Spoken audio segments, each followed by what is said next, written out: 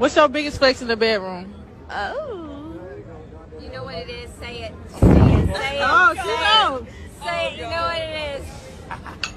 I don't want to say it. Oh my Why? god. God. If you drink more, you would say it. If I did drink more, I would say it. Fuck me. It's okay. Uh, God. Let's see. My biggest flex is one time I made my ex come in like 20 seconds. I've had I don't believe it. Call him. It's called X for a reason, bro. But I'll call him. He won't answer. Let's see. Let's see. Okay, I think I missed it. Oh, you remember the number? Ah. Hello.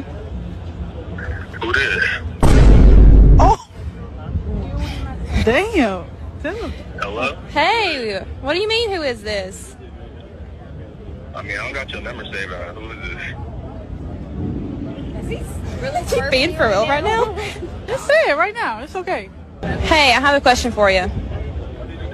What is it? Remember that time that um, it was your birthday and we were drunk as fuck and I made you come in like 20 seconds from a blowjob? Shit. Nah, I do remember. I remember when you let me stick my whole fist in your ass, though.